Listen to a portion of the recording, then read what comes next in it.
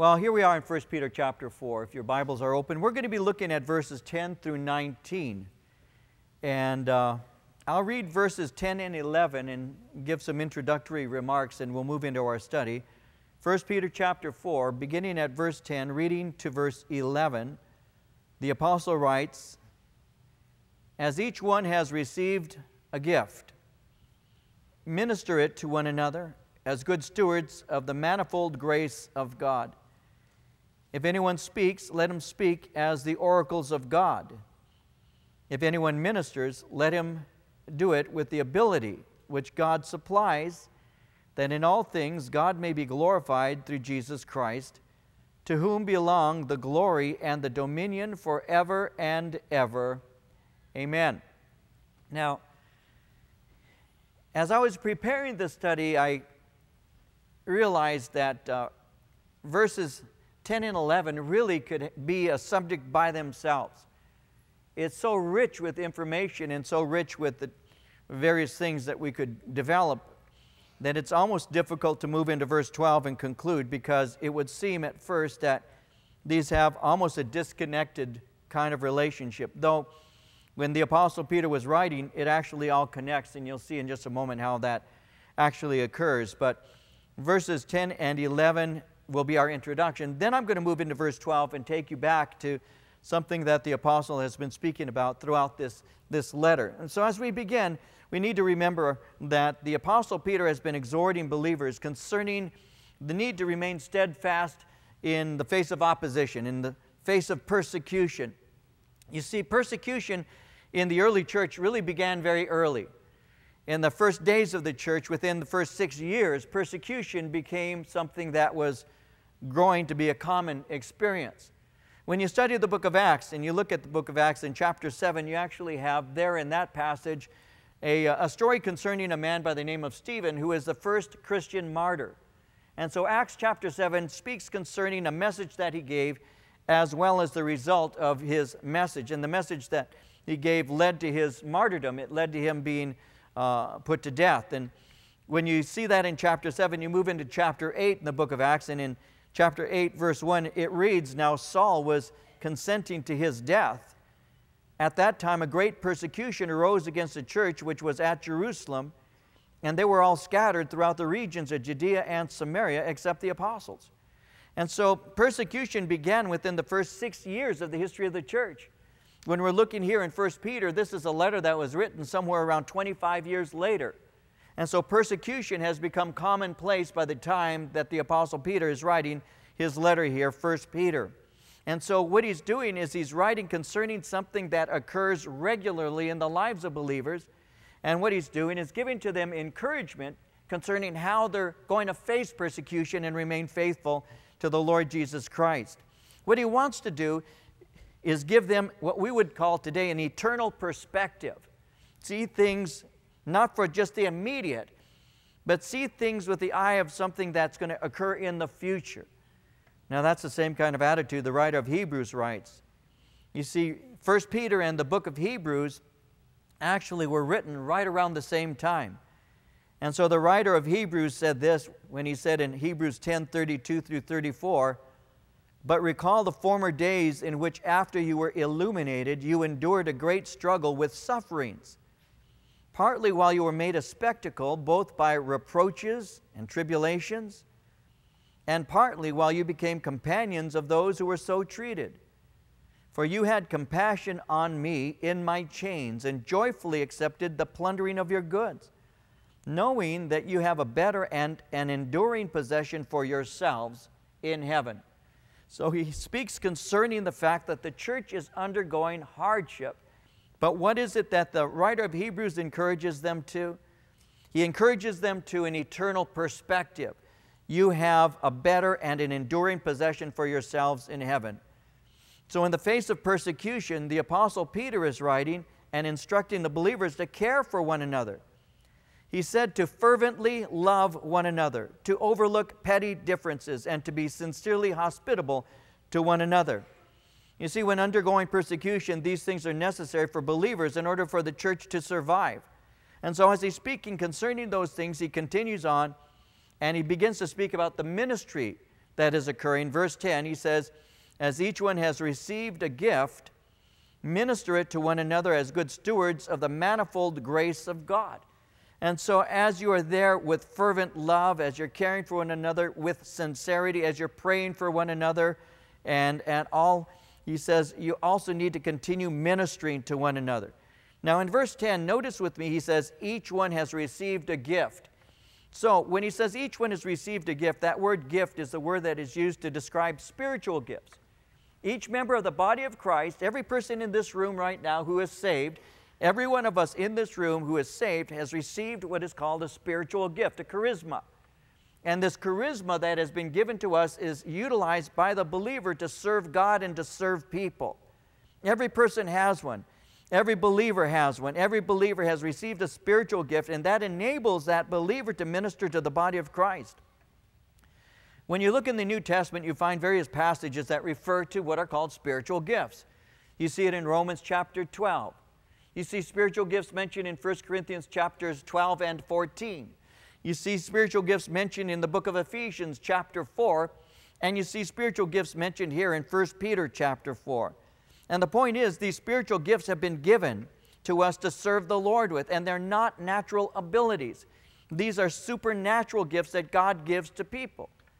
You may be somebody who likes to speak. You may be a school teacher, but that doesn't mean that when you get saved, you automatically become a Bible teacher because it's not a natural or acquired gift. You may be somebody who plays a musical instrument well and sings well, but you may not be called to be a worship leader because just because you have the ability to sing and to play an instrument doesn't mean that you have the spiritual anointing to lead worship. So, spiritual gifts are gifts that God gives to us to serve the body of Christ with and these spiritual gifts are distributed to us as God determines. And so I can ask the Lord for certain gifts. I can say, Lord, would you give me this, or may I serve in this capacity? But it's up to God to determine what gift I receive. In 1 Corinthians 12 11, it says, The Spirit of God, the Spirit of God gives them to each one just as He determines. Just as He determines. So God gives gifts to each one as He determines. And so each one has received a gift, and that's what he's saying here in verse 10 as each one has received a gift. And that means that people in this room today can also be those whom he's addressing in this sense. Each one of us has a spiritual gift. And each one is supposed to minister, not just certain key members of the congregation, but every individual who has received Christ is to be a servant of the Lord Jesus Christ. Ephesians 4:16 says, "From him the whole body joined and held together by every supporting ligament, grows and builds itself up in love as each part does its work. So every individual has a gift that God has given, and more than likely, more than one spiritual gift. When you have more than one spiritual gift, it's called a gift mix. So you have the ability to do certain things under God's anointing that are spiritual in nature that have re- been received from Him. I've had people ask me, How do you know your spiritual gifts? And I usually answer the same way I don't know. Don't bother me. Go away. No, I normally will answer in the same way. What is it that you do for the Lord that has fruit that you enjoy doing? What is it that you enjoy doing that has fruit to it, that remains? Because that's one of the ways to discover your gift. And secondly, what is it that those who know you best would say your gifting is? because sometimes you may not even be aware of a gifting that somebody else can see very clearly. You simply don't see it yourself. Back, I believe it was in early September of 1973, I was at my parents' house, and there was a, a young man in their kitchen, and he was talking about things of the Lord. And I remember he said something that didn't line up with Scripture. And so I said to him, Well, you know, actually, that's not what the Bible says. What the Bible says concerning that is this. And I explained some very basic thing to him. And my dad, I remember my dad was standing there right on my right hand, and my dad was standing there as I was explaining to this young man something from Scripture. And the young man looked at me and said, Well, thank you, and walked away. And my dad looks at me and said, I didn't know you could do that. And I smiled at my dad and I said, That I could do what? And my dad said, I didn't know you could explain the Bible so that I could understand. And I started thinking about that because I never really thought about that before. And so within two or three weeks, I started a home Bible study at my parents' house, September of 1973. This month marks my 39th anniversary of opening the Word of God like we're doing this morning and teaching the Word of God to people. And it began that way. It began that way, where, where my dad simply said, I didn't know you could do that. And I didn't either. I didn't think I was doing anything. And it may be the same for you. You may see a need somewhere and you just step in and you meet it. Or you may see some disorganization and it's not because you're just, just a, you know, somebody who likes to see things in a mess and you need to fix them up because you're really like that. But you just are one who likes to organize. It may be that you have the gift of administration or you see somebody needing help and you have the gift of helps. You don't know what your gift is sometime until you seek the Lord and, and somebody else may, may validate that. And, and, and yet the bottom line is, is, is everybody who's been born again has a gift that God gave, at least one that God gave to you. And that's what he's saying. In the midst of tough times, in the midst of the hardships, make sure that you continue ministering to one another with the gift that God has given to you. As each one has received a gift, minister it to one another as good stewards of the manifold grace of God. And he goes on to speak of two gifts. If anyone speaks, let him speak as the oracles of God. If anyone ministers, let him do it with the ability which God supplies, then in all things God may be glorified through Jesus Christ, to whom belong the glory and the dominion forever and ever. So he speaks of two gifts. Notice he says here in verse 11, if anyone speaks. When he says if anyone speaks, he's speaking of speaking gifts, gifts that require language eh, gifts like preaching and teaching, gifts like prophecy. So, what he's saying here is if anyone speaks, and I want you to notice this, let him speak as the oracles or the words of God. Speak with confidence. Let him speak as if he's actually speaking God's very word. Don't hedge your bets. Don't try and make things palatable to people just speak the truth and speak it with confidence. Make sure that you know the Word of God is the Word of God. And when you communicate it, communicate it with certainty and confidence. When you speak the Word of God, make sure that you, you speak it as if it really is God's Word, because it is. A great speaker of another day, a preacher by the name of Charles Spurgeon, was once asked, How do you defend the Bible? He responded, Very easy. The same way I defend a lion I simply let it out of its cage. When you let the Word of God go, God brings about that which God desires. So speak it with confidence, speak it with certainty. It's like what Paul said in 1 Thessalonians two 2:13. He said, "We also thank God continually because when you received the word of God which you heard from us, you accepted it, not as the word of men, but as it actually is the word of God, which is at work in you who believe. You received it as God's word and not some inspired uh, human inspiration. It's not like poetry and it's not like the kinds of writings that men come up with. He said, You received this message as it is. It is the word of God. Speak it with confidence. When you share the word of God, speak it with confidence. Like the day that I brought my father to faith in Christ and I held the Bible and I said to him, Dad, this is the Word of God. I didn't know it very well yet. I was only three weeks old in the Lord. But I knew this is the very Word of God and we need to hear what God's Word has to say. Speak it with confidence.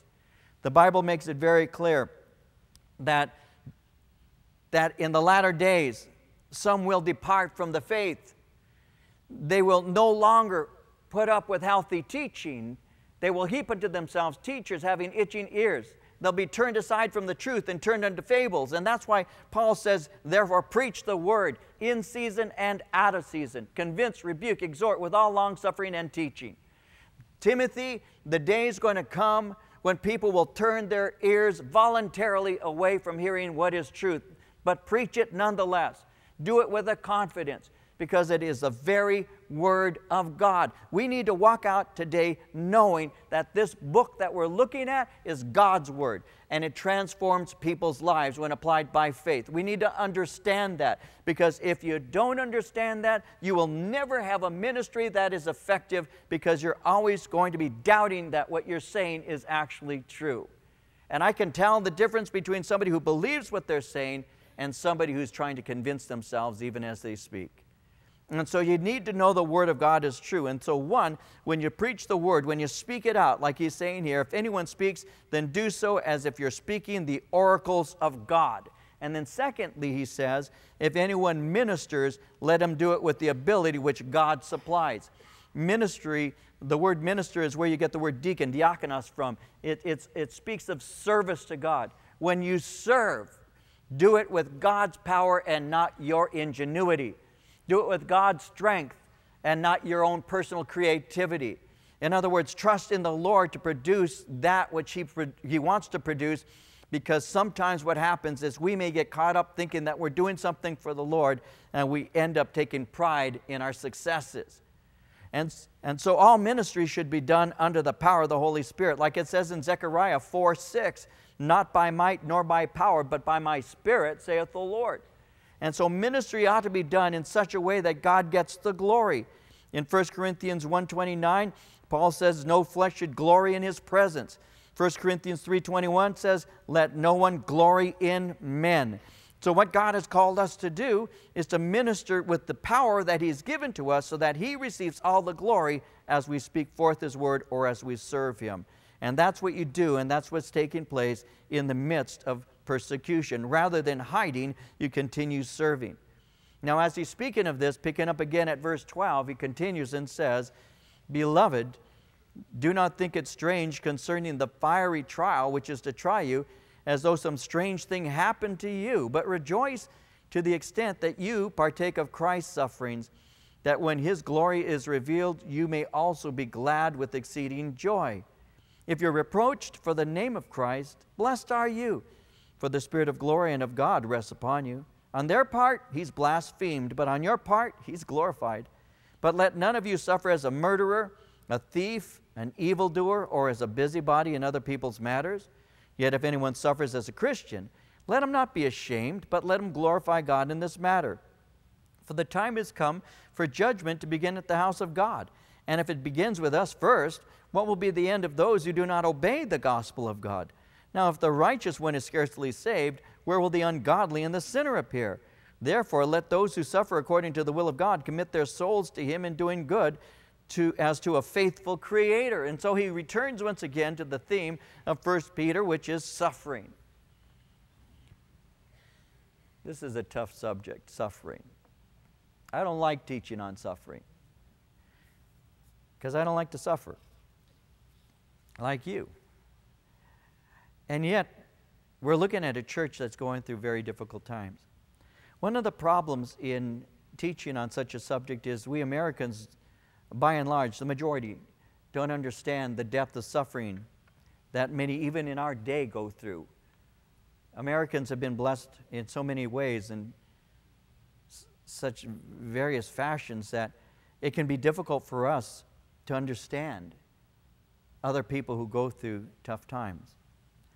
I was reading just this last week an article about a man who works for a major worked for a major corporation, Hollywood corporation, and was making salary wise over a million dollars a year. It's almost as much as I make. No, a million dollars a year.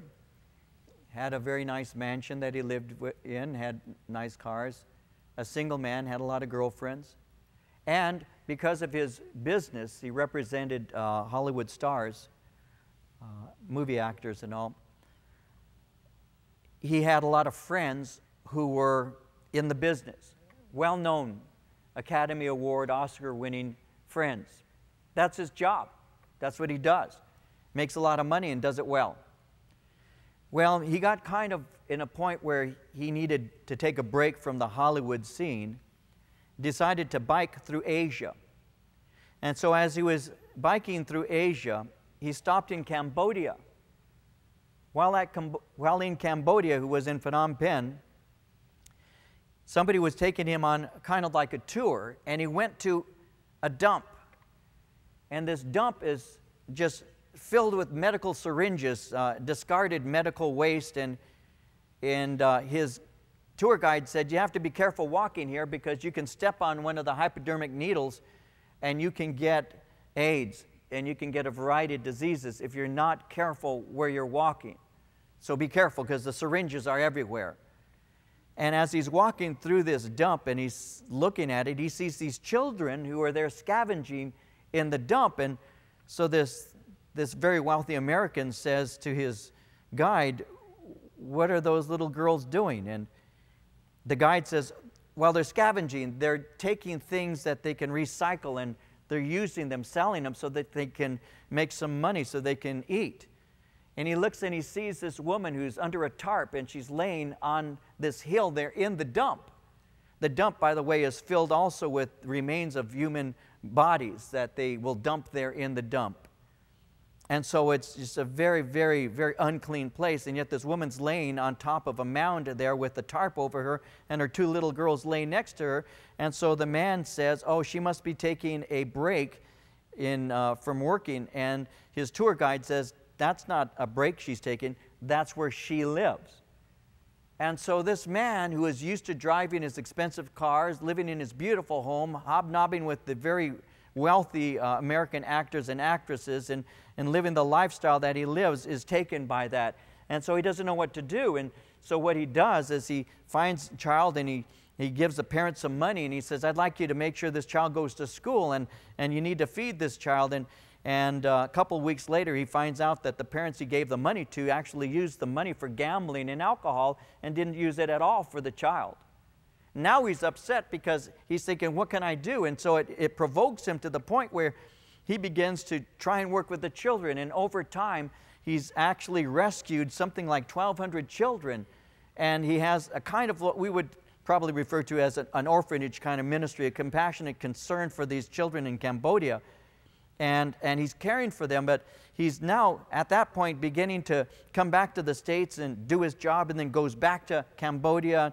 Then he returns to the States and he's beginning to wonder should I just move back here to Cambodia and remain here? And he's not sure what he should do. And so he had just welcomed five little girls into his orphanage, if you will, and found out that all five of those little girls have typhoid. And when he had just been notified, these, notified that these babies had typhoid, he gets a phone call from an agent of an actor that he represents back in the States. And the agent tells this man, You've got to fix a problem. We've got a real problem here. The plane that the, that the studio chartered does not have the right snacks and the right water on it. And I'm not budging until we have the right water and the right snacks on our plane. Then the actor gets on and says, My life isn't supposed to be this difficult. Fix it. And that's what caused this American to just move lock, stock, and barrel to Cambodia to care for these kids because he saw how rancid people's minds can be when they don't even understand what the word difficult is. And there are people today who say, I'm living a difficult life. Why? Because my car is four years old. I am telling you. I'm having a tough time right now. Why? Because my sound system only causes one ear to bleed. So we, we, we really think that way. I'm very poor. I only have two color TVs. I'm very poor because my air conditioning isn't working. That's American, and we don't even see it. But that's how we are. So it's very difficult to speak concerning suffering because it's just a difficult subject for us because we have been saved, many of us, from so much of that, we don't understand it. When I was in the Philippines, I, I walked through a dump called the Tondo Dump.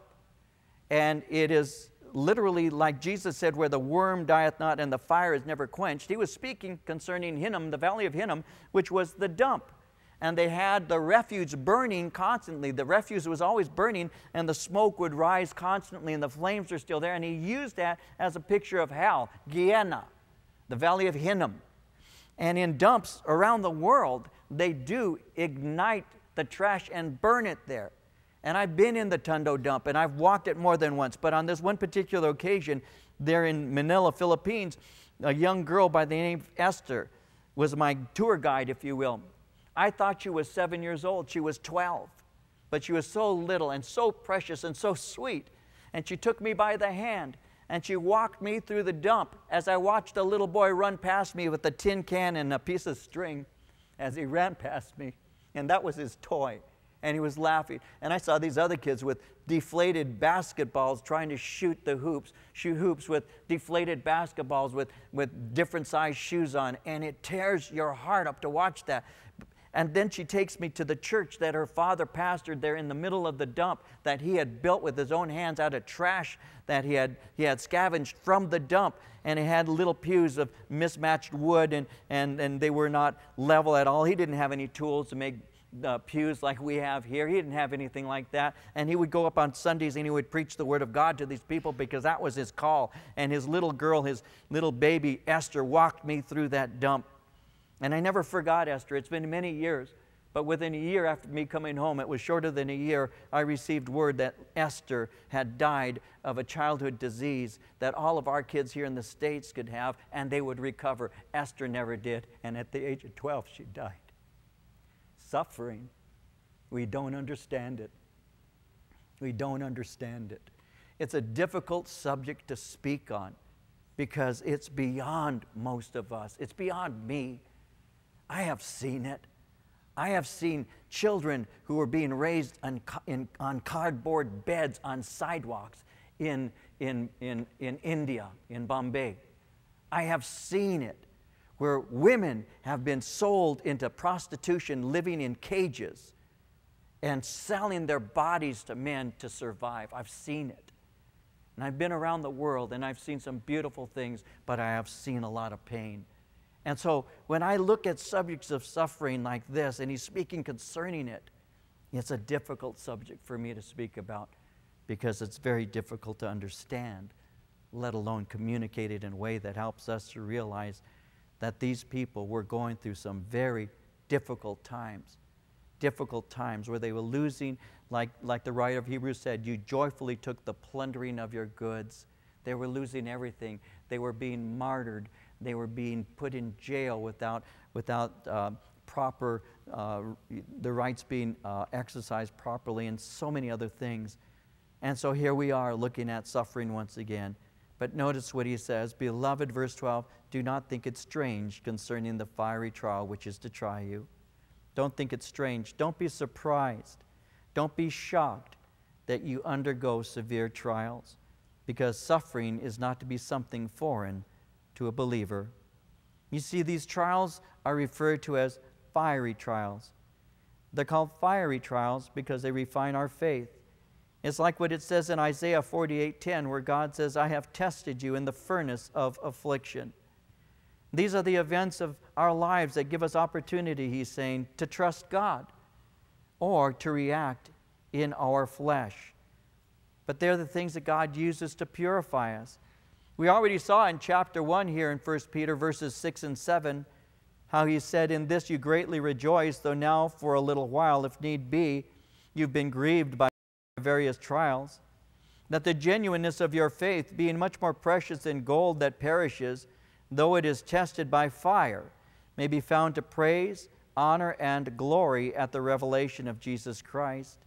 He's saying, Don't be surprised. Don't think it's strange that you undergo these trials. This should not be a shocking thing to you. He says you need to learn in verse 13 to rejoice. Rejoice to the extent that you partake of Christ's sufferings, that when his glory is revealed, you, you may also be glad with exceeding joy. So instead of complaining, rejoice. Why? Because God is doing a work in you, because he's refining you. Rejoice because you're, you're partaking, he says. Now, notice, in Christ's sufferings. Jesus suffered for who he was. We suffer because we identify with him. And Jesus said in John 15, 18, if the world hates you, keep in mind it hated me first. So we suffer, but we don't suffer like he did. He suffered in what is called a redemptive sense. But believers partake in the same kind of suffering because we suffer for doing that which is right. Jesus suffered for doing that which is right in a redemptive way, but we suffer because we are following his footsteps, and therefore there are times that we will be suffering along with him. But we need to know that we're going to be comforted because we will share with him in glory. Now, in verse 14, he says, If you're reproached for the name of Christ, blessed are you, for the Spirit of glory and of God rests upon you. On their part, he's blasphemed. On your part, he is glorified. So when he says, if you're reproached, that word reproach speaks of rejection. If people reject you for the name of Christ, blessed are you. It's basically calling back to Jesus' words on the Sermon on the Mount in Matthew 5 11 and 12, where Jesus said, Blessed are you when people insult you persecute you, falsely say all kinds of evil against you because of me. Rejoice and be glad, because great is your reward in heaven. For in the same way they persecuted the prophets who were before you. So Jesus has already prepared us to realize that rejection is part of the package. Because when you openly identify with Him, there are those who don't love Him and they will openly reject you. Psalm 27:10 says, When my father and my mother forsake me, then the Lord will take care of me. When I got saved, I realized that my mom and my dad could reject me. I, I realized that they could be upset at me, that my mom could be hurt. I, I realized that. My dad, when I grew up, was a good man, but my dad didn't believe in God. He wasn't what you would call an avowed atheist, he just didn't have time for God. Dad never went to church. And dad didn't want a Bible in the house. The only person my dad ever knew who read a Bible had mental problems. So my dad thought that if you read the Bible, you go crazy. And so my dad didn't want a Bible in the house. The one thing I know my mom disobeyed my dad in, the one thing, she had a Bible. And she used to hide it from him. And she would bring it out and read it once in a while. My dad didn't have a relationship with God. And so when I got saved, I knew that my dad could reject me. I knew it.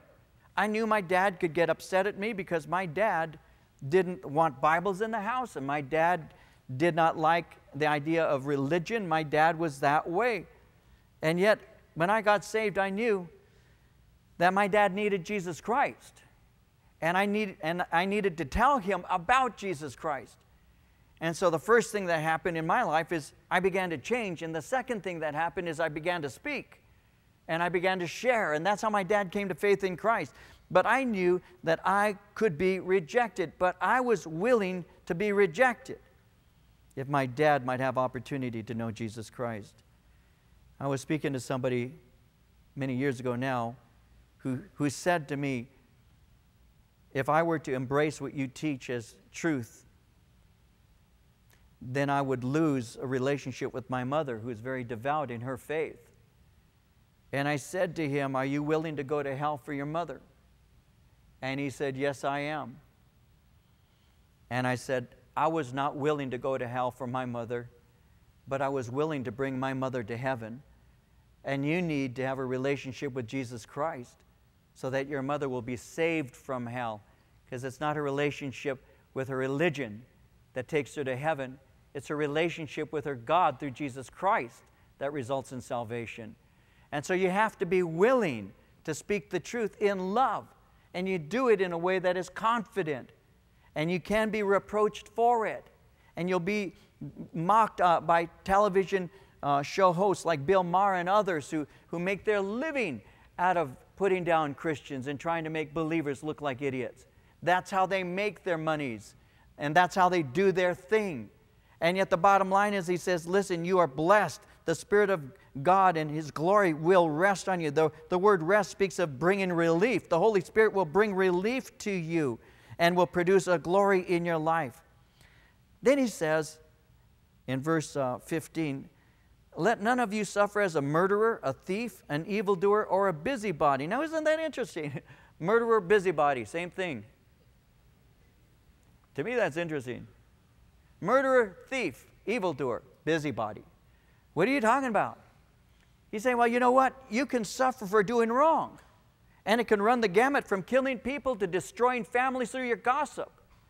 It can happen by, by you uh, meddling in other people's affairs. A busybody is somebody who is really interested in your business. That's why they're called a busybody. They're interested in you. They're the kind of person who's always watching, looking around in case you're having fun. They want you to stop right now. Don't you laugh? Don't you smile? Don't you have fun? And they're busy, but what's going on in your life? They want to know. They're there trying to get involved in, in, the things of your life. They're meddlers. He says, Don't be suffering as one. Don't be suffering in any way. Listen, if, if you're going to be in any way going through hard times, let it not be by doing evil. If you're going to go through hard times, notice verse 16 if anyone suffers, let it be as a Christian, and let him not be ashamed, but let him glorify God in this matter. Don't be ashamed of being called a Christian.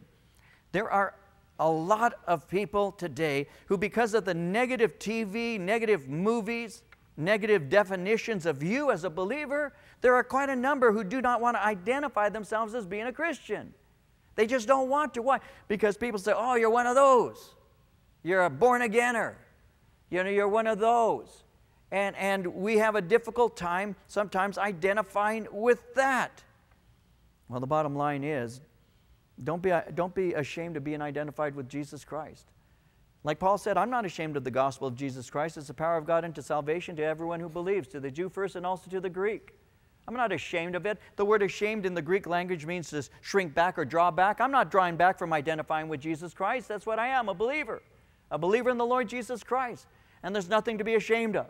As a matter of fact, it's something that I ought to speak with boldness. In Matthew 10 33, Jesus said it like this He said, Whoever denies me before men, him I will also deny before my Father who's in heaven. And so instead of shrinking back and denying him, we need to openly declare our faith in him. And by the way, when you begin by opening your mouth and saying, I'm a believer in Jesus Christ, it gives you opportunity to live up to your testimony.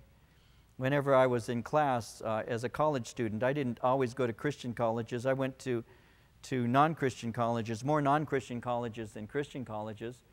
And when I was in college, in non Christian college, when the, when the teacher gave you opportunity to share anything about yourself, one of the very first things I would say is, My name is David Rosales, and I'm a born again Christian. That's how it started out in class. My name is David Rosales, I'm a born again believer. I remember sitting through this particular political science class, and you have 30 students there, and every one of us was given an assignment where the professor was going to give to us a word and he was going to bring us up before the class and he was going to give us the word and we spontaneously were supposed to interact with the word that he gives to us. And so he might use the word love or he might use the word constitution he'd use any word he wanted and your responsibility was to stand up there and give an impromptu speech concerning that word and i was there in this class for several weeks and, and it finally was my turn to, to stand up before the class. And as I, as I was standing there, uh, the professor, this is a non Christian school, as I'm standing there in front of the class, the professor looks at me and says, David, here's your word. Speak about freedom. And so I said, I still remember what I started out to say. I said, freedom. When you use the word freedom, to me, the word freedom speaks concerning freedom from bondage. And a person who doesn't have a relationship with Jesus Christ is in bondage. But Jesus Christ said he has come to bring the truth, and the truth will set you free. So if you open the Lord, open your heart to the Lord Jesus Christ, he will set you free from your bondage and free. And I, I preached the gospel because I knew that's what I'm supposed to do. Now these people aren't standing up going, "Oh, speak it, man of God." They're listening and you're having an opportunity to share. I was 24 years old. So sometimes you think, oh, this old man up there, you know, I was doing this when I was 23. I was doing this when I was 22. I was doing this when I was 24 years old. You, you stand up and you speak out in the name of Jesus Christ. Draw not back, but do not be afraid. Just, man, when Jesus said, if you open your mouth, I will fill it. He said, It's not you who speaks, it's the Spirit of your Father who is speaking at that moment. I will give you words and I will give you wisdom that none of your enemies will be able to gainsay nor resist. So you just, you just take that word as truth and you speak it out. And, and you may feel like you're fumbling and it may feel like you're not making much sense, but God uses those things because when I stood up and said, I'm a believer and Jesus gives you freedom, there was one other believer in the class, some young woman, and she yelled out, Hallelujah! So I, I wasn't alone. I wasn't alone. She was there praying for me. She walked, Oh, after all, praise the Lord. It's good to know there's another brother in the class. And that's how it works so very often. And so don't shrink back. Don't be ashamed. If you suffer, Glorify God in this matter. He says in verse 17, The time has come for judgment to begin at the house of God. And if it begins with us first, what will be the end of those who do not obey the gospel of God? Now, if the righteous one is scarcely saved, where will the ungodly and the sinner appear? Therefore, let those who suffer according to the will of God commit their souls to Him in doing good as to a faithful Creator. Judgment begins in the house of God, it refines the body of Christ. God purges the body of its sin.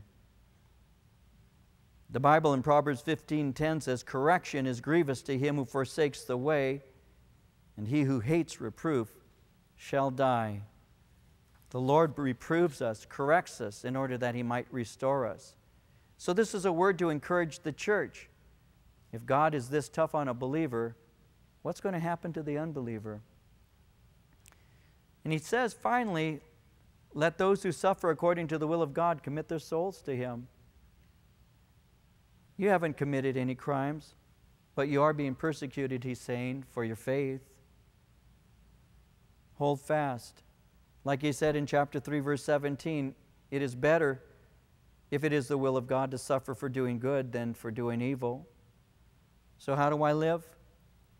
Live patiently, trusting Him. Continue, he says, to do good. Commit your soul to Him. Hand over to Him what you value into His care. Place your life confidently in His hand. He will care for you. Psalm 9, verse 9 says, The Lord also will be a refuge for the oppressed, a refuge in times of trouble. Psalm 61, verse 3 For you have been a shelter for me, a strong tower from the enemy. So, in doing good, they will remain in the center of God's protective care. Continue faithfully serving Him, and in doing so, that is the path of safety. Hold fast to Him in the midst of your persecution. Do not deny Him. Do not shrink back. Walk in His Spirit, exercise His gifts, love one another, and just wait because the Lord will deliver you.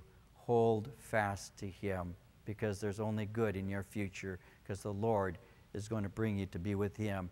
And at that point and in that day, you will not be complaining, you will not be crying. You'll just be overwhelmed with the joy of being in His presence and hearing His words when He welcomes you in. Well done, my good and my faithful servant, when he says, Enter in to the joy of your Lord, which has been prepared for you from the foundation of the world. And at that point, it will all be worth it. So hold fast.